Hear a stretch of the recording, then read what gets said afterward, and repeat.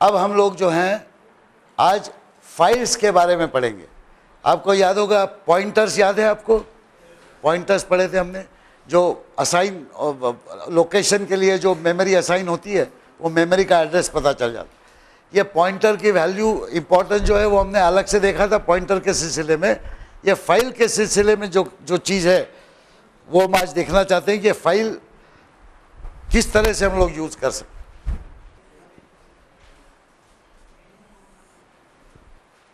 जो हम लोग टेक्स्ट फाइल्स बनाते हैं प्रोग्राम्स लिखते हैं। जैसे मान लीजिए हमने एक प्रोग्राम लिखा p one dot c p p या कोई टेक्स्ट फ़ाइल बनाई हमने। टी ये सब फ़ाइल नेम है। आप जी एडिट से एडिट करते हैं तो प्रोग्राम की फ़ाइल बनती है। ये सब फाइलें कहाँ रहती है? इसके अंदर रहती हैं। ये एक फ़ाइल हो गई, ये दूसरी फ़ाइल हो गई। आप जब भी सी प्लस प्लस उसके बाद में इन p one dot c p p बोलते हैं तो सी प्लस प्लस कंपाइलर जो है, वो डिस्क में जाके वो पूरी फ़ाइल पढ़ता है। और वो फ़ाइल पढ़ के उसको कंपाइल करता है। कंपाइल करके क्या करता है, वो ए डॉट आउट फ़ाइल बनाता है, वो भी डिस्क में जाता है।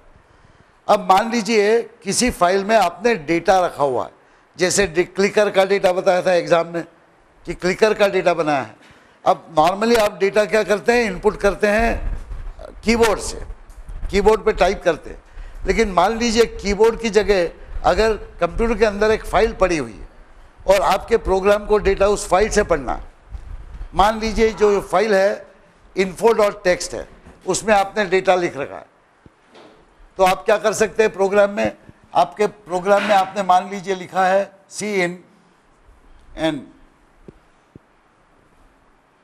और उसके बाद में आपने लिखा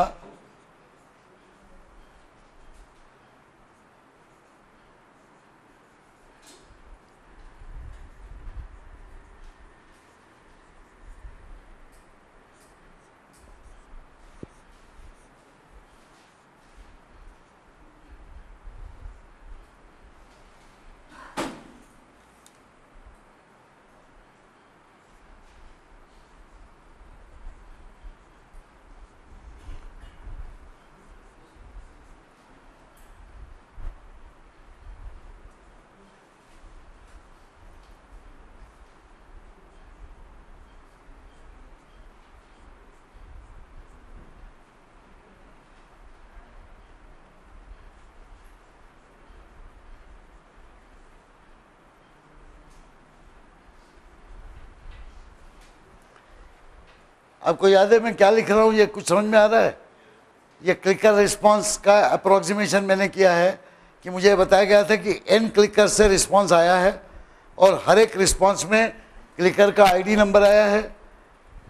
उसका रिस्पांस कैरेक्टर आया है एक ए बी सी डी जो भी है। और कितना समय आपने लिया, वो समय आ गया। अब ये तीन एरेज में पढ़ रहा हूँ। इन एरे के डिक्लेरेशन बता सकते हैं आप क्या होंगे? सबसे पहले यहाँ पे एक तो डिक्लेरेशन सीधा है इंट आई और एन क्योंकि ये मैंने यूज़ किया है एन और आई एरे के डिक्लेरेशन कैसे होंगे बताएँ आप? इंट सी आई डी कितने एलिमेंट्स होने चाहिए इसमें मैक्सिमम थाउज़ेंड लिख लें। मान लीजिए थाउज़ेंड स्टूडेंट्स हैं तो। उसके बाद कैरेक्टर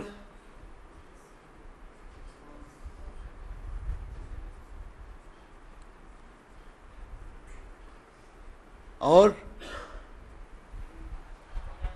रिस्पांस टाइम वो क्या होगा? इंटीजर फ्लोट असल में हम लोग जो गिनते हैं वो फ्लोट में गिनते हैं टाइम 1.5 मिनट्स तो ऐसा टाइम कैसे गिना जाता है? मिनट और सेकंड में गिना जाता है, या आवर मिनट सेकंड में गिना जाता है. इन जनरल अगर किसी डिवाइस से हम टाइम लेते हैं तो हमेशा एक इंटीजर नंबर आएगा. वो इंटीजर नंबर बड़ा हो, छोटा हो, उस हर इंटीजर नंबर का जो प्रिसीजन है उसमें बताया जाएगा कि भाई एक वैल्यू जो है उसकी उतना इतने सेकंड होते हैं। या 500 वैल्यू होगी तो एक सेकंड होगा। तो ये ये एक मैपिंग अलग से रहता है। ये जो काउंट है, हमने पेपर में लिखा था कि integer number of seconds are being given तो वो भी इंटीजर ही होना चाहिए इनपुट या इंटीजर हो जाए।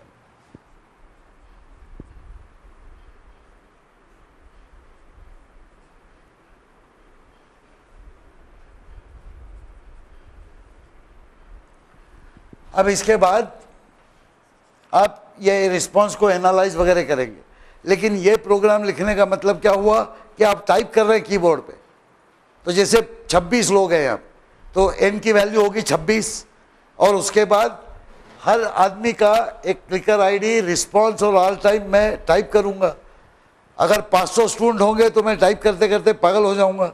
इसके लिए हमने क्या सुविधा ईजाद की थी एक समय में? हमने लिखा था कि ये पूरा का पूरा मान लीजिए हमने एक इन्फो डॉट टेक्स्ट फ़ाइल में डाल दिया है सबका सब। तो वो इन्फो डॉट टेक्स्ट फ़ाइल से हम पढ़वाना चाहते हैं टाइप नहीं करना चाहते। We don't want to type we want it to read तो हम लोग क्या करते थे? पहले कंपाइल कर लिया सी प्लस प्लस मान लीजिए ये जो प्रोग्राम है p one dot c p p हुआ। अब उसके बाद में ए डॉट आउट बनेगा। अगर इतना करके रिटर्न दबा दिया तो हमें टाइप करना पड़ेगा इनपुट लेकिन इसकी जगह हमने अगर less than info dot t x t कर दिया तो इसका मतलब क्या होता है? इनपुट रीडायरेक्ट हो गया। जो मेरा कीबोर्ड था, वो अभी ये फ़ाइल से कनेक्ट हो गया। तो कीबोर्ड से जो भी मैं टाइप करता उसकी जगह इससे पड़ेगा। और अगर ये फ़ाइल मैंने तरीके से बनाई होगी, किस तरीके से बनाना चाहिए? अगर जैसे 26 लोग हैं तो मैं पहले लिखूँगा 26 उसके बाद मान लीजिए एक क्लिकर आया 101 नंबर का। फिर उसके बाद रिस्पांस आया डी फिर उसके बाद समय आया 63 इस तरह से मैं टाइप करूँगा उसमें दूसरा क्लिकर है 102 उसका उत्तर है ई इस तरह से मैं टाइप करके फ़ाइल में सेव कर दिया, ये रीड हो जाएगा। अब तक हमने जो फ़ाइल का उपयोग किया है, वो खाली इसके लिए किया है कि कीबोर्ड से टाइप करें उसके बजाय हम लोग डायरेक्टली फ़ाइल से पढ़े, इतना यूज़ किया। अब जो आपने जो प्रॉब्लम देखा था क्लिकर का, उसमें दो फाइलें थी। एक फ़ाइल तो ये थी, एक डेटा ये था मतलब और दूसरा क्या डेटा था? क्वेश्चन नंबर एट के लिए कि रोल नंबर और क्लिकर का आइडेंटिटी दिया हुआ, कि कौन सा रोल नंबर को कौन सा क्लिकर हमने दिया है। वो अलग से होगा, उसको ज़रूरी कि 26 हो, उसमें 50 भी हो सकते हैं, जितने भी टोटल स्टूडेंट हैं। अब मान लीजिए, इसी तरीके से वो भी डेटा हमें कीबोर्ड पे टाइप करना है। हम आगे और एरेज डिफाइन करके वो डेटा पढ़ लेंगे। लेकिन वो डेटा मान लीजिए हमने यहाँ पे दूसरी एक फ़ाइल बनाई। Info two dot t x t और info two dot t x t जो है, उसमें हमने लिखा पचास स्टूडेंट्स हैं। पहले स्टूडेंट का रोल नंबर जो है वन ज़ीरो ज़ीरो वन है। उसका क्लिकर आईडी जो है, वो तेरह है। दूसरा student one zero zero two है, उसका क्लिकर आईडी जो है पच्चीस है। या एक सौ तेरह है, एक सौ पच्चीस जो भी। ऐसा ही डेटा था ना दूसरे प्रोग्राम में। अब ये हमने, हमको टाइप नहीं करना, ये भी डेटा पढ़ना।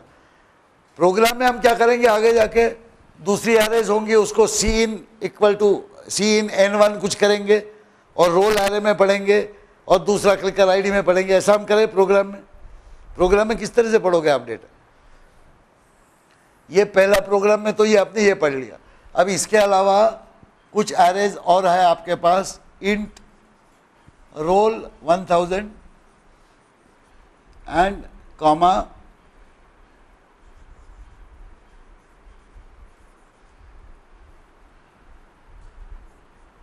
given clicker 1000 और एक और लिख दिया हमने एन स्टूडेंट्स यानी हमारी क्लास में एन स्टूडेंट स्टूडेंट्स हैं और हर स्टूडेंट के बारे में हम, हमें फॉलोइंग जानकारी चाहिए। एक तो हर स्टूडेंट का रोल नंबर चाहिए और आपको जो क्लिक कर दिया है, उसका आइडेंटिटी क्या है वो चाहिए। यानी एसोसिएशन हो जाएगा ना। अगर इसमें फिफ्थ एलिमेंट रोल नंबर में एक हज़ार पाँच है तो इसका फिफ्थ एलिमेंट वो होगा जो क्लिकर आईडी आपको दिया है वो। ये भी डेटा हमें पढ़ना पड़ेगा प्रोग्राम में। कैसे हम पढ़ेंगे इसको? हम फिर से लिखेंगे c in greater greater n students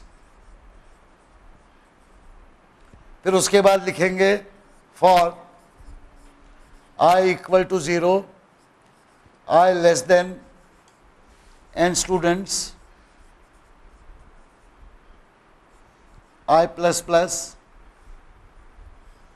फिर यहाँ पे लिखेंगे सी इन क्या पढ़ेंगे हम इस बार? बोलिए। रोल।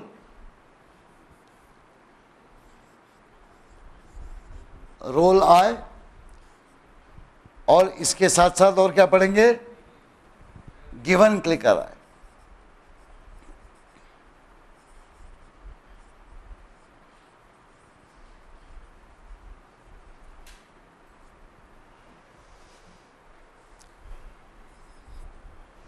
ये सही है प्रोग्राम शुरू में हमने एक डेटा पढ़ा रिस्पांस का। फिर हमने डेटा पढ़ा स्टूडेंट का और क्लिकर का। असल में एक्चुअल बड़े प्रोग्राम में क्या होगा? स्टूडेंट का और क्लिकर का गिवन क्लिकर का डेटा हम एक बार पढ़ के रख लेंगे। उसके बाद जितनी भी क्विज कंडक्ट करी, उस क्विज के लिए अलग अलग क्विज का डेटा पढ़ेंगे। लेकिन इस सवाल में कोई प्रॉब्लम नहीं है, ये पहले ये पढ़ ले, बाद में ये पढ़।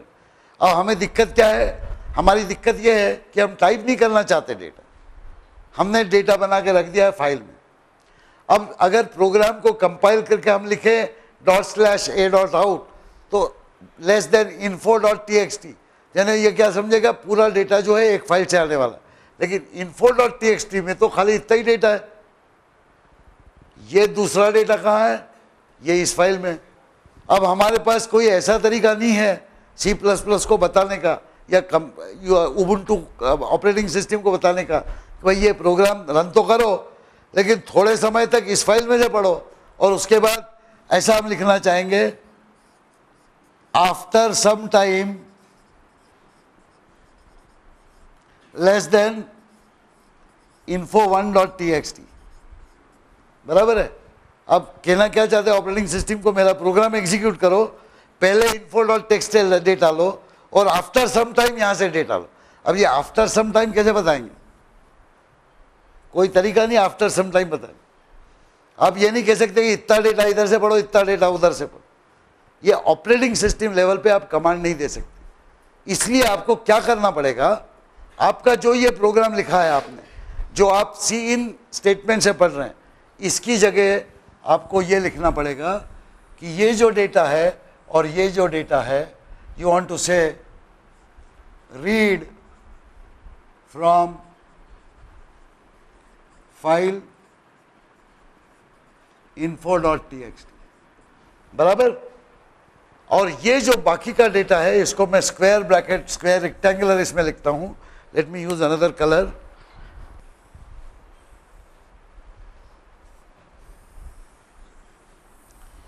ये जो सीन स्टेटमेंट है, इसमें आप बताना चाहेंगे रीड फ्रॉम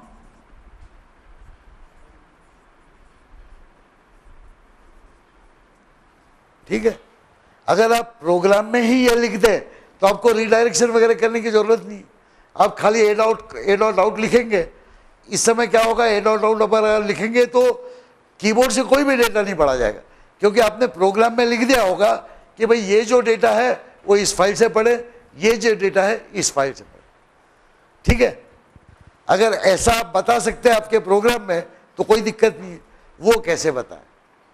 वो बताने के लिए सी प्लस प्लस में स्पेशल स्टेटमेंट्स हैं, जिनके द्वारा आप पहले तो जैसे आप वेरिएबल डिफाइन करते हैं एरे डिफाइन करते हैं, वैसे आप एक फ़ाइल डिफाइन कर सकते कि भाई मेरे प्रोग्राम में मैं ये तीन फाइलें यूज़ करने वाला हूँ। फिर उस फ़ाइल को आप ओपन कर सकते हैं अंदर। आप बोल सकते हैं कि ये जो फ़ाइल है, ये इन्फो डॉट टेक्स्ट है, इस फ़ाइल को मैं इस नाम से जानने वाला हूँ। उस फ़ाइल को ओपन करें आप।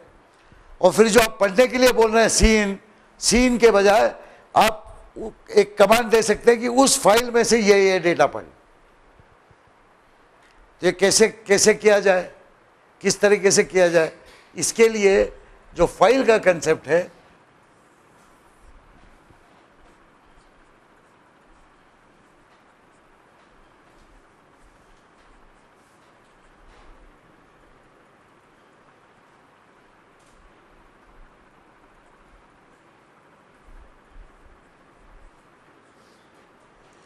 ये इस तरीके से डिक्लेरेशन किया जाता है प्रोग्राम अभी ये स्टार का मतलब क्या हुआ? पॉइंटर तो capital F I L E इस नाम का एक स्पेशल टाइप है. इंट जैसे फ्लोट जैसे कैर जैसे, वैसे capital F I L E नाम का एक और दूसरा बेसिक टाइप वो डिफाइन कर रखा है सी प्लस में जब भी आप इंट बोलते हैं इंट ए तो ए के नाम का एक वैकेशन हो जाता है लोकेशन और उसके अंदर आप इंटीजर वैल्यू रख सकते हैं। जब भी आप फ़ाइल बोलते हैं तो इसके बाद में ज़रूरी है कि आप एक पॉइंटर डिफाइन करें। अब ये जो एफ़ पी वन जो हो गया, ये आपके फ़ाइल का इस प्रोग्राम में नाम हो गया। एफ़ पी टू हो गया, ये दूसरे फ़ाइल का नाम हो गया। इस तरह से आप चाहिए तो दस फाइलें डिफाइन कर सकते ये तो डिफाइन हो गई फ़ाइल अभी तक इस फ़ाइल का वो इनपुट इन्फो डॉट टी से कोई संबंध नहीं जुड़ा है। वो संबंध जोड़ने के लिए ओपन स्टेटमेंट यूज़ होता है।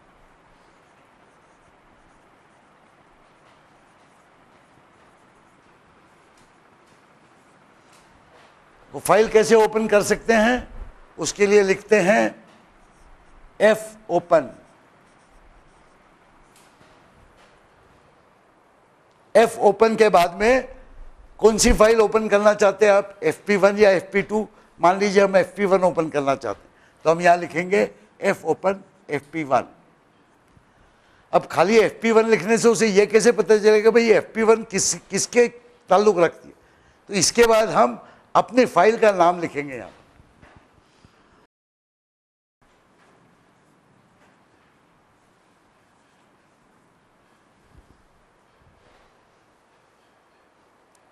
F open f p one comma info dot t x t f open क्या है? फ़ंक्शन है। जैसे आपके अलग अलग फ़ंक्शन होते हैं, जैसे फ़ाइल के लिए फ़ंक्शन अब इसके, इसका मतलब ये हो गया कि मेरे प्रोग्राम में मैंने जो एक एफ़ पी वन नाम की फ़ाइल ओपन करी है, अब मैं एफ़ पी वन के साथ जो भी करूँगा, वो एक्चुअली इस फ़ाइल के साथ आप करें। ये आप ऑपरेटिंग सिस्टम को बता रहे लेकिन क्या किया जा सकता है एक फ़ाइल के साथ? या तो आप डेटा पढ़ सकते हो, या लिख सकते हो। You can either read or you can write तो किस लिए आपको ये फ़ाइल ओपन करना है? ये देने के लिए एक और पैरामीटर देना पड़ता है। उसको बोलते हैं आर यानी रीड अगर आर की जगह आपने डब्ल्यू लिख दिया तो राइट हो जाएगा। इसका मतलब आप खाली पढ़ सकते हैं, ऐसा नहीं। You can also write to files you can open another file for writing you can open four files for reading and five files for writing you can now see how powerful the feature is You can have data in different files. You can read from all of that. And you can create two or three different output files if you want. So that is the power. अब इसमें पढ़ने के लिए लिखने के लिए अलग अलग फ़ंक्शंस हैं उसके बाद ये करने के लिए फ़ंक्शन है कि भाई मेरी जो फ़ाइल है वो शुरू से पढ़ रहे हो उसके बजाय कहीं बीच में से पढ़ लो ये आप अपने सी इन स्टेटमेंट से नहीं कर सकते। यूनिक्स में जो है या सी प्लस प्लस में जो है, वो फ़ाइल का मतलब होता है it is a sequence of bytes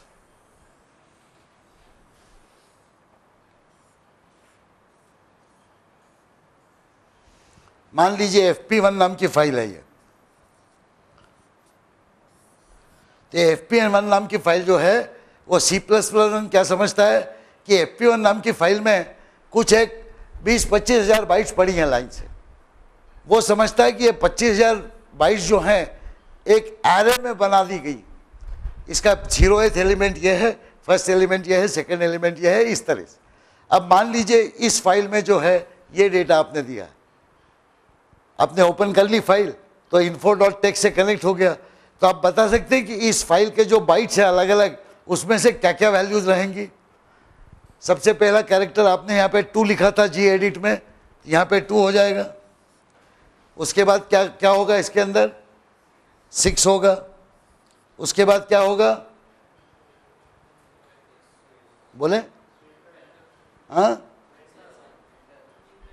enter enter बोले तो new line new line character किसे लिखते हैं हम लोग? बैक स्लैश उसके बाद होगा वन ज़ीरो, वन। उसके बाद ब्लैंक। बैकस्लैश टी टैब होता है। ब्लैंक होता है, एसकी कोड थर्टी टू। हम लोग अभी फ़िलहाल उसको ऐसा लिख देते हैं, ब्लैंक। ठीक है?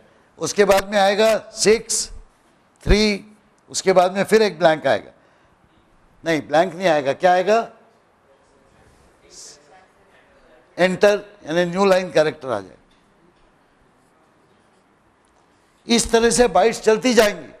और बिल्कुल आखिरी में जब आप एंटर दबाएँगे तो लास्ट कैरेक्टर होगा बैक स्लैश एन और उसके बाद फ़ाइल खत्म हो जाए अब चूँकि फ़ाइल के अंदर सी प्लस प्लस ये जानता है कि सीक्वेंस ऑफ़ बाइट्स है, और डिस्क जो है, वो डिस्क में जो फ़ाइल रखी है, उसमें कोई ज़रूरी नहीं कि आप लाइन से सीक्वेंस से पढ़ें। आप कहीं भी जाके बोल सकते हैं, मेरे को ये कैरेक्टर पढ़ना यानी सी प्लस प्लस में ये सुविधा है कि आप सडनली जाके बोल सकते कि मुझे यहाँ से पढ़ाओ। किसी भी फ़ाइल को पढ़ने के या लिखने के दो तरीके हैं। एक तरीका है सीक्वेंशियली पढ़ते जाओ, एक के बाद एक कैरेक्टर जनरली टेक्स्ट फ़ाइल जो होती है, वो सीक्वेंशियली पढ़ते दूसरा तरीका है डायरेक्टली एक्सेस करो। अब डायरेक्ट एक्सेस करना है तो कैसे बताए कंप्यूटर को कि इस पोजीशन में पढ़ो? उसके लिए सी प्लस प्लस जो है जब भी आप कोई एक फ़ाइल ओपन करते हैं तो उसके साथ एक इंटरनल इंडेक्स मेंटेन करता है। इंटरनल होता है। आपको दिखता नहीं वो इंडेक्स। ये वो इंडेक्स है, internal index.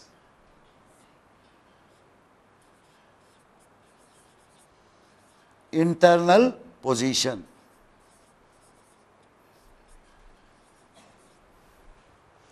Internal मतलब सी प्लस प्लस को मालूम। जैसे ही आपने एफ़ पी वन को ओपन किया तो इंटरनल पोजीशन ज़ीरो पे सेट हो जाती।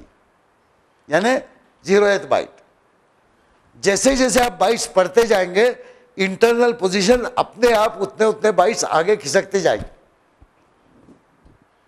और जब फ़ाइल खत्म हो जाएगी तो वो कोई बाइट नहीं बचेगी। उस पोजीशन का नाम है ई O F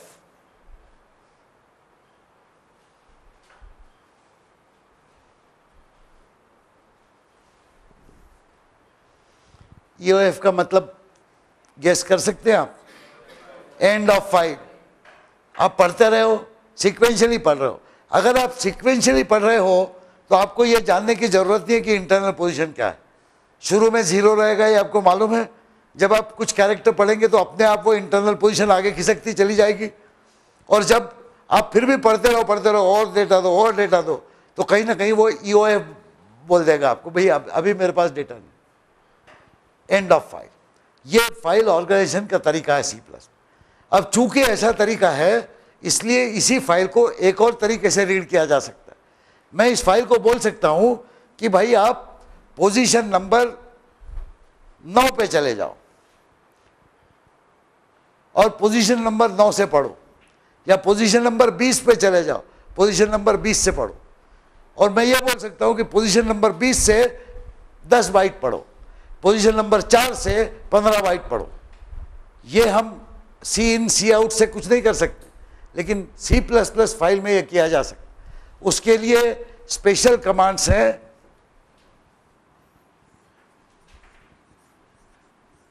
F read f read में हम लोग एक कैरेक्टर एरे का या किसी बाइट का पॉइंटर दे देंगे। उसके बाद बोलेंगे उसको, इस इस कैरेक्टर आरे में से इतने साइज़ के, इतने यूनिट्स बाइट पढ़ो। और कौन सी फ़ाइल से? एफ़ पी वन ये रीड कमांड जो है जहाँ पे भी करंट पोजीशन होगी, उस करंट पोजीशन में जो भी आपने साइज़ दिया है, मान लीजिए साइज़ है दस बाइट और ये यूनिट्स लिखे आपने पाँच तो दस बाइट के पाँच पाँच यूनिट पढ़ लेगा वो करंट पोजीशन में और उस पोजीशन में से पचास बाइट्स पढ़ के वो एस नाम का जो पॉइंटर है, उसके साथ जो भी स्ट्रक्चर जुड़ा हुआ है, उसमें वो बाइट्स रख देगा। अगर वो एरे होगी तो एरे में रख दे ये सुविधा है इसमें। तो आप रीड कर सकते हैं बल्क में। लेकिन कहाँ से पढ़ेगा ये? तो वहाँ से पढ़ेगा जहाँ भी उसका इंटरनल पॉइंट पोजीशन जो है, जहाँ पे भी हो। अगर फ़ाइल के शुरू में आप करेंगे तो ज़ीरो एथ बाई से पढ़ेगा अगर कुछ इतने बाइट पढ़ लिए तो अपने आप पॉइंटर आगे खिसक जाएगा। अब मान लीजिए आपको डायरेक्ट एक्सेस करना है तो उसके लिए एक और कमांड है एफ़ सीक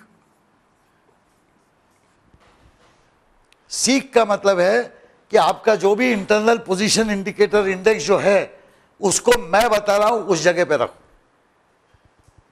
उसको जो मैं बता रहा हूँ, उस जगह पे रखो। इसके लिए हमें तीन पैरामीटर देने पड़ते हैं। एक तो जो फ़ाइल पॉइंटर है वो, कि कौन सी फ़ाइल मैं सीख कर रहा हूँ। किस पोजीशन में मैं सीख कर रहा हूँ। पॉस यानी 2500 ऐसा पॉस लिखा तो 2500 पे पॉइंटर जाएगा। लेकिन ये पॉइंटर शुरू से गिनना, या आखिरी से गिनना, या कहाँ से गिनना, इसके लिए C++ एक सुविधा देता है। वो थर्ड पैरामीटर है।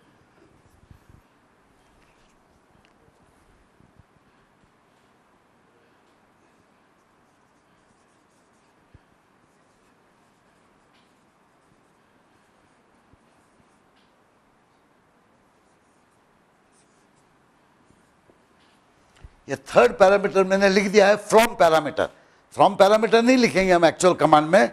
ये फ्रॉम पैरामीटर जो होता है, वो तीन तरीके का होता है. उसके तीन अलग अलग स्पेशल नाम है. एक उसका नाम है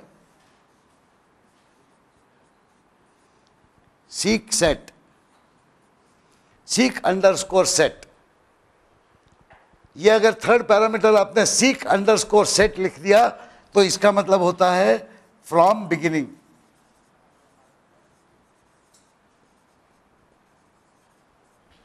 यानी फ़ाइल के शुरू से इतने बाइट पे चले जाओ और यहाँ से पढ़ो आगे जो पढ़ना है।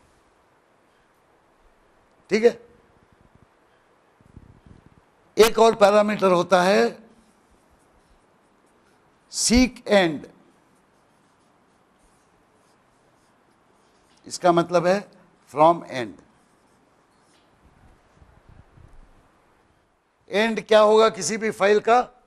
ईओएफ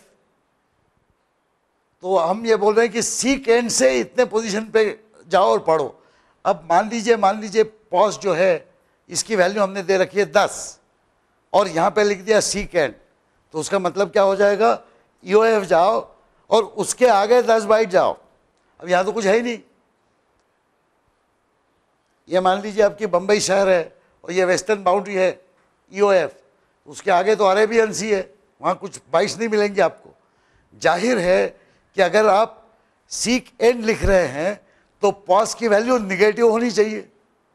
तभी वो कुछ मीनिंगफुल पोजीशन जाएगा। कभी कभी आपको कोई एग्जाम्पल्स ऐसे आएँगे जिसमें यह सुविधा रहेगी कि आप सीक एंड से वापस उल्टी चले हो। कभी कभी आपको यह सुविधा रहेगी कि सीक सेट से चलो आगे।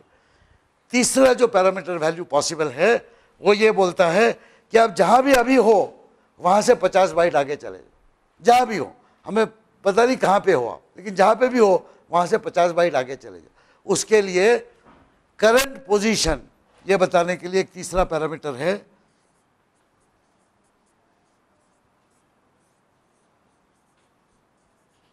सीख कर यानी फ्रॉम करंट पोजीशन ये मैंने आपको इंफॉर्मेशन के लिए बताया है। वैसे अक्सर हम लोग सीख सेट से ही काम चलाते हैं। इज़ द इम्पोर्टेंट यानी हर बार हम यहाँ से शुरू करेंगे, इस पोजीशन पे जाओ, जो भी बाईस इतने पढ़ना है उतनी पढ़। लो ये दोनों जो स्टेटमेंट्स हैं, ये साथ साथ यूज़ होते हैं। एफ़ सी कितना और उसके बाद इतने बाइट पढ़ लो। अब अगर हमने कुछ नहीं किया तो जो इंटरनल इंडेक्स जो है, वो अपने आप इतने बाइट आगे चला जाएगा। एक बात ख्याल रखें पढ़ने के बाद या लिखने के बाद इंटरनल इंडेक्स जो है वो अपने आप खसकता जाता है। आपको फिर से पोजीशन आगे पीछे करना है तो आपको एफ़ सीक करना पड़ेगा। आपको मान लीजिए पता करना है कि भाई अभी है कहाँ? हम उसके लिए एक और कमांड है एक और फ़ंक्शन है फ़ाइल के लिए। आप आप, आप उसको फ़ाइल को पूछ सकते हैं कि प्लीज़ बताओ कि आप अभी कौन से पोजीशन पे। तो उसके लिए एक फ़ंक्शन है pos is equal to f tell f p f tell tell का मतलब जानते हैं? बताइए, या। एफ़ रीड का मतलब है, हमें कुछ बाइट्स पढ़ना है। जो भी करंट इंडेक्स जहाँ पे भी है, वहाँ से बाइट पढ़ना है। कितनी बाइट पढ़ना है, हमें मालूम नहीं। अब मान लीजिए, हम बोलते हैं कि छः बाइट पढ़ना है। ओके? खाली छः बाइट और उसको छः बाइट्स को एक कैरेक्टर एरे में हमें डालना एक फ़र्ज़ कीजिए आपकी कैरेक्टर एरे है।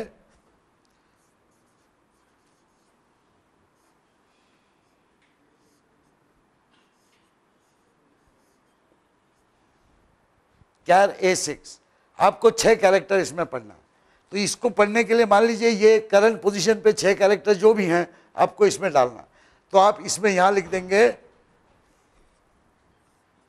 एफ़ रीड उसके बाद अंदर लिखेंगे आप ए याद रहे कि एरे का जो नाम है, वो पॉइंटर करके भी काम करता है। वो ज़ीरो एलिमेंट का पॉइंटर होगा। उसके बाद आपको छः बाईस पढ़ना है। आप लिख दें छः और उसका एक यूनिट पढ़े। आप एफ़ पी वन में से पढ़े। तो वो छः बाइट का एक गट्ठा का गट्ठा एक यूनिट पढ़ के अंदर डाल। इसको आप इस तरीके से भी लिख सकते हैं। One comma six one comma six का क्या मतलब हुआ? एक एक बाइट पढ़े, लेकिन उसके छः यूनिट पढ़े। मतलब तो वही हुआ। टोटल बाइट कितनी रीड हुई? वन इंटू सिक्स या सिक्स इंटू वन और वो जाकर जाएँगे कहाँ? वो अपने इस आरे में चली जाएँगे। इस आरे में चली जाएँगे। इसके लिए ये ज़रूरी है कि जो आप पढ़ रहे हैं, वो उसमें फ़ाइल में कैसे लिखा है, ये पक्का आपको पता होना चाहिए कि इतने बाइट में ये रोल नंबर लिखा है, इतने बाइट में क्लिकर नंबर लिखा है इतने बाइट में यह लिखा है। अब जब हम टेक्स्ट फ़ाइल लिखते हैं इस तरीके से तो ये कहना बड़ा मुश्किल है कि इतने कैरेक्टर में यह है, इतने कैरेक्टर में यह है। न्यू लाइन कैरेक्टर आएगा। किसी ने एक स्पेस की जगह दो स्पेस लिख दी, चार स्पेस लिख दी। तो टेक्स्ट फ़ाइल जो होती है, उनको एफ़ रीड एफ़ सीक से नहीं पढ़ा जाता। टेक्स्ट फ़ाइल जो होती है, उनको इस तरीके से पढ़ा जाता है कि जैसे हम लोग मान लीजिए सी नहीं यूज़ कर तो उसके लिए हमने दो स्टेटमेंट लिखे थे।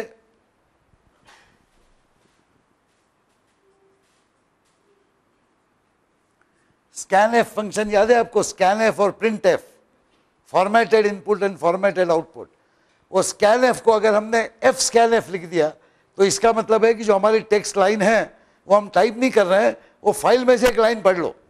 और वो लाइन पढ़ के जो अलग अलग वेरिएबल हिज्जे पुर्जे अलग अलग कर तो एफ़ स्कैन एफ़ लिखने के बाद में हम लोग अगर एफ़ पी लिखे यहाँ, और उसके बाद हमारी कंट्रोल स्ट्रिंग लिखे, जैसे यहाँ लिख दिया, मान लीजिए हमने percent d blank percent d comma ये जैसे पढ़ रहे हैं हम लोग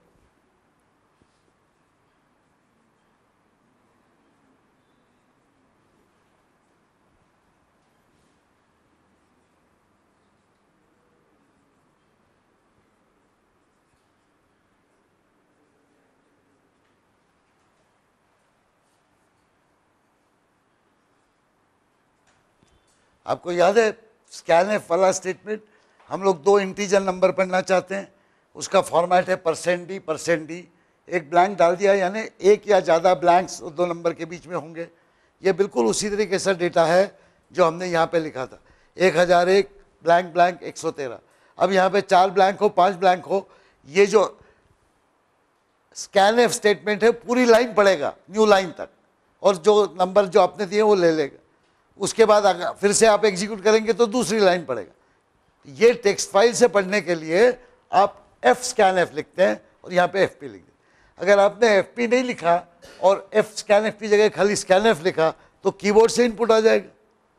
वो कीबोर्ड से इनपुट आने की बजाय अगर आप चाहते हैं कि फ़ाइल से पढ़ा जाए टेक्स्ट फ़ाइल से तो आप एफ़ स्कैन एफ़ यूज़ कर सकते दूसरा जो मैंने रीड राइट स्टेटमेंट बताया, ये टेक्स्ट फ़ाइल के लिए अक्सर यूज़ नहीं होते। हालाँकि किए जा सकते हैं। अगर आपको एग्जैक्टली exactly मालूम है कि किस तरह से टेक्स्ट टूस टूस के बनाए फ़ाइल में तो आप उसको यूज़ कर सकते अब मैंने जो यहाँ पे जो स्लाइड्स लगाए थे, दो लेक्चर्स हैं। इसमें मैंने स्ट्रक्चर्स देखे हैं सी प्लस प्लस में क्या है, और फाइल्स का कुछ रिव्यू किया है, और किस तरह से सर्च कर सकते हैं सिक्वेंशियली टेक्स्ट फ़ाइल में, और डायरेक्ट एक्सेस कैसे कर सकते हैं, ये बताया। तो ये मैंने बताया कि पहले we offer need to access and process different pieces of information related to same entity roll number name batch and marks ये एक स्टूडेंट के रोल नंबर आप सबका है रोल नंबर है। आपका एक नाम है और आपका एक बैच है और कुछ मार्क्स हैं। अब ये मान लीजिए हमने एक फ़ाइल में डाल दिए एक टेक्स्ट फ़ाइल में डाल दिए तो एक लाइन में एक रिकॉर्ड लिखा है और हर रिकॉर्ड में रोल नंबर है, नाम है और बैच है। इतना इंफॉर्मेशन कर दिया हमने, इसको बोल दिया फील्ड्स ऑफ़ ए रिकॉर्ड अब ये जो ईच रिकॉर्ड जो है, इसमें उसी एंटिटी के एट्रीब्यूट यानी स्टूडेंट की इंफॉर्मेशन ऐसा नहीं कि एक लाइन में स्टूडेंट का रोल नंबर नेम और बैच लिखा और दूसरी लाइन में एक एम्प्लॉय का कोड नंबर और नाम और एड्रेस लिख दिया. तीसरी लाइन में सब्ज़ी का भाव लिख दिया. ऐसे नहीं फ़ाइल बनती. एक फ़ाइल में एक ही तरीके के सब रिकॉर्ड्स रहें. किस टाइप के रिकॉर्ड है, किस टाइप की इंफॉर्मेशन रखी है और क्या क्या इंफॉर्मेशन हर लाइन में लिखी है, इसको मेटा डेटा बोला जाता है, यानी डेटा अबाउट डेटा अब यहाँ देखिए, ये स्ट्रक्चर मैंने डिफाइन किया स्टूडेंट इन्फो स्ट्रक्चर में क्या क्या है? एलिमेंट रोल नंबर है नेम है बैच है और मार्क्स है फ्लोटिंग पॉइंट ये ये आइटम्स है। अब ये वेरिएबल्स जो है, उसमें हम स्ट्रक टाइप के डिफाइन कर सकते हैं। तो हर एक जो वेरिएबल होगा, वो इस टाइप का हो जाएगा। ये जैसे डिफाइन किया स्ट्रक्ट स्टूडेंट इन्फो एस अभी एस जो है इंटीजर नहीं है एस रियल नहीं है एस एरे भी नहीं है एस जो है स्ट्रक्चर तो एस के इतने सारे कंपोनेंट है, जो कंपोनेंट पहले थे रोल नेम वो सब एस के भी कंपोनेंट हो गए अपने आप। इसके बाद अगर मैं एस डॉट रोल लिखूँ एस डॉट नेम लिखूँ एस डॉट बैच लिखूँ और एस डॉट मार्क्स लिखूँ तो वो अपने आप वो स्ट्रक्चर के कॉरस्पॉन्डिंग टाइप हो जाएँगे इंटीजर फ्लोट कैर जो भी हैं वो। अब जैसे इंटीजर का साइज़ होता है फोर बाइट्स फ्लोट का साइज़ होता है फोर बाइट्स कैर का साइज़ होता है वन बाइट तो जब स्ट्रक्चर मैंने डिफाइन किया तो स्ट्रक्चर का भी साइज़ कुछ होगा। वो स्ट्रक्चर का साइज़ कितना होगा जनरली हर एक अलग अलग जो कंपोनेंट है, उस सबका जोड़ मिला के स्ट्रक्चर का साइज़ होगा। तो यहाँ पे जैसे साइज़ ऑफ़ कर सकते हैं हम लोग। साइज़ ऑफ़ इंट बोला तो इंटीजर का साइज़ आता है। साइज़ ऑफ़ फ्लोट बोला तो फ्लोट का साइज़ आता है। यहाँ size of struct student info बोला तो इसका साइज़ निकाल देगा इसका साइज़ 44 फोर बाइट्स है। थोड़ा पीछे चलते हैं स्ट्रक्चर को फिर से एक बार देखते हैं। ये इंट रोल कितने बाइट्स हुए? चार। क्या नेम कितने बाइट्स हुए? थर्टी। थर्टी प्लस फोर कितने हो गए? थर्टी फोर ये इंट बैच कितने बाइट हुए? चार। तो thirty four plus four thirty eight float marks कितने बाइट हुए? फोर तो थर्टी एट प्लस फोर कितने हो गए? फोर्टी टू लेकिन वो प्रोग्राम तो मेरा फोर्टी फोर बता रहा है सर ऐसा इसलिए होता है कि जनरली इंट और फ्लोट ये जो लोग हैं, ये आर्बिट्ररी मेमोरी असाइन नहीं करता जाता कंप्यूटर कि जहाँ पे बाइट मिली वहाँ पे कर दिया। ये चार बाइट जो होते हैं, वो एक वर्ड बाउंड्री पे होना ज़रूरी होता है। यानी ज़ीरो बाइट पे एक इंटीजर रखा तो ज़ीरो वन टू थ्री में चार बाइट आ जाएँगे। फिर फोर बाइट से चालू होगा, फोर, फाइव, सिक्स, सेवन हो जाएगा, एट, नाइन, टेन हो जाएगा। अब पहला रोल तो इंटीजर है, चार बाइट में आ गया। दूसरा जो कैरेक्टर आ रहे हैं, उसको थर्टी बाइट्स रखे तो thirty bytes divisible by four नहीं है। तो उसके बाद जो नेक्स्ट एड्रेस होगा, वहाँ से कंपाइलर किसी इंट या फ्लोट को चालू नहीं करेगा। वो क्या करेगा? दो बाइट छोड़ देगा। खाली रखेगा। वो अगली बाउंड्री पे जाएगा जो चार से डिवाइड होगी। इसीलिए हमने हालाँकि थर्टी लिखा है थर्टी बाइट्स तो इसको अलोकेट करेगा, इसमें कंप्यूटर इंफॉर्मेशन रखेगा उस नाम की। लेकिन उसके बाद में जो बाइट दो बाइट जो है, फोकट छोड़ देगा, खाली छोड़ दिया। और उसके बाद फिर अलोकेट करेगा। इसलिए जो साइज़ जो है वो 44 फोर बाइट्स आ गया 40 बाइट्स नहीं आया। ये सी प्लस प्लस की खासियत है मेमोरी अलोकेशन ये 44 फोर बाइट्स आ गया। अब देखिए ये हमने डिफाइन कर दिया कि ये नाम है 30 बाइट्स का, ये स्ट्रक्चर है, ये स्टूडेंट इन्फो का एस बना दिया और रिकॉर्ड साइज़ जो है वो हमने पता कर लिया रिकॉर्ड साइज़ कि चवालीस बाइट्स आ जाता है। अभी पता नहीं कितना चवालीस होगा, अस्सी होगा, सौ होगा, ये स्टेटमेंट हम करेंगे तो ये आ जाएगा ये हम क्यों कर रहे हैं? ताकि हम अपने टेक्स्ट फ़ाइल में ठीक से इंफॉर्मेशन लिख अब ये हमने स्टूडेंट को प्रिंट करने का ये देखिए प्रिंट एफ़ लिख दिया है यहाँ ये प्रिंट एफ़ में percent five d percent thirty s percent three d percent five point two f इसमें हम लोग क्या क्या छाप रहे हैं? रोल नंबर नेम बैच और मार्क्स ये देखिए मार्क्स फ्लोटिंग पॉइंट है तो ये five point two f use हुआ है। यहाँ बैच है, ये इंटीजर है तो थ्री डी लिखा है तीन डिजिट का। यहाँ पे थर्टी एस लिखा है थर्टी कैरेक्टर का नाम। और हर एक के बाद में एक एक स्पेस देते जाओ। और उसके बाद हम लोग एक बैक स्लैश एन आउटपुट कर। तो ये ये अगर फ़ंक्शन हमने यूज़ किया तो ये फ़ंक्शन जो है, जो भी इसको स्ट्रक्चर देंगे एस उस स्ट्रक्चर की इंफॉर्मेशन प्रिंट कर देगा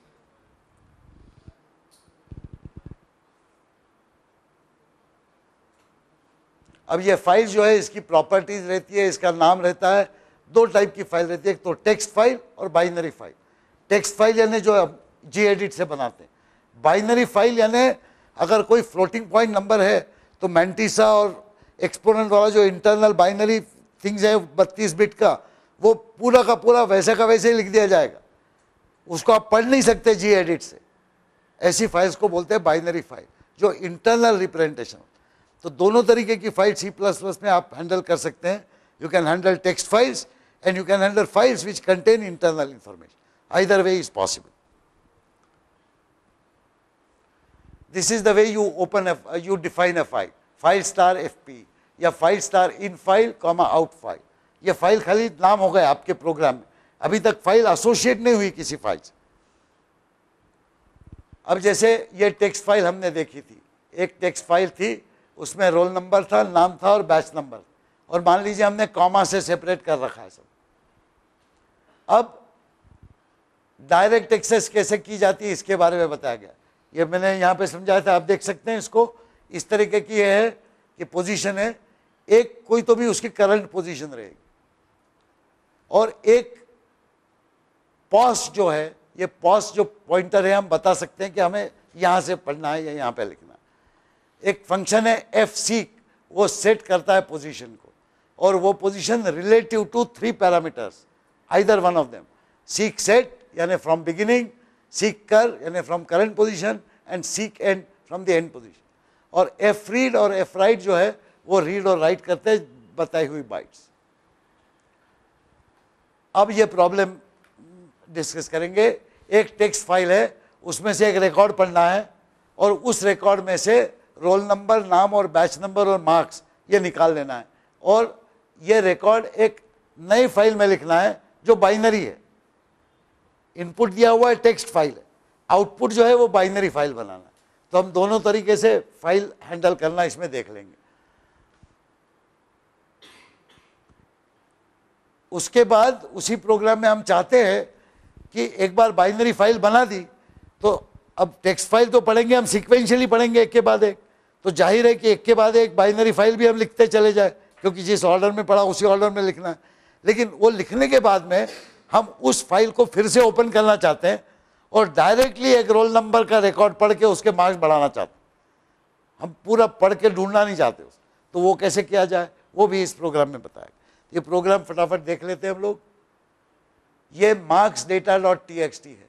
यानी इस इस डेटा अभी जो फ़ाइल है, जैसे info dot T X T बताया था, ये फ़ाइल हमने तैयार करके रखी है। इसमें देखिए ये रोल नंबर है, नाम है बैच नंबर है और मार्क्स है। अब देखिए जो मार्क्स है 84.5 कहीं आ गए नाम यहाँ अनिल है, यहाँ पे शेफाली है, यहाँ पे राजेश है, यानी नाम भी छोटे बड़े हो सकते हैं। हालाँकि हमने कैरेक्टर आए थर्टी का डिक्लेयर किया, लेकिन नाम तो छोटे बड़े हो सकते हैं। अब आप देखिए कि हर लाइन में एक स्टूडेंट का रिकॉर्ड है, लेकिन उसकी लेंथ जो है कम ज़्यादा। So it is not a fix length record that is why it is not possible to use binary files directly because in binary files you will have fixed length records. In file you can not guarantee that. तो अक्सर जो data input जो आता है raw वो text file में आता है। वो टेक्स्ट फ़ाइल से आप पढ़ लेते हैं और उसको बाइनरी फ़ाइल बना के रख देते फिक्स लेंथ रिकॉर्ड फिर उसके बाद में आप पोजीशन काउंटर लगा के यहाँ वहाँ कहीं भी जाके आप रिकॉर्ड पढ़ सकते क्योंकि फिक्स लेंथ है तो आपको मालूम है रिकॉर्ड की लेंथ कितनी। अभी जैसे हमने स्ट्रक्चर देखा था, उसकी क्या लेंथ थी? 44 फोर बाइट्स मान लीजिए वो 44 four bytes internal binary format में हमने एक के बाद एक लिख दिया स्टूडेंट के रिकॉर्ड हज़ार स्टूडेंट के रिकॉर्ड तो मान लीजिए आपको पंद्रहवें स्टूडेंट का रिकॉर्ड पढ़ना तो आपको कोई ज़रूरी नहीं एक के बाद एक पढ़ो, क्योंकि आपको मालूम है हर स्टूडेंट का रिकॉर्ड चवालीस बाइट का है। तो चौदह स्टूडेंट्स का रिकॉर्ड चौदह इंटू चवालीस बाइट ऑक्यूपाई कर लेगा। आप अपने पोजिशन को वहाँ लगा दें और वहाँ बोल दें चवालीस बाइट पढ़ लो तो अपने आप पंद्रहवें स्टूडेंट का रिकॉर्ड आ जाएगा। ये जो सुविधा है फ़ाइल में वो आपको और तरीके से नहीं मिल सकती। चलो थैंक यू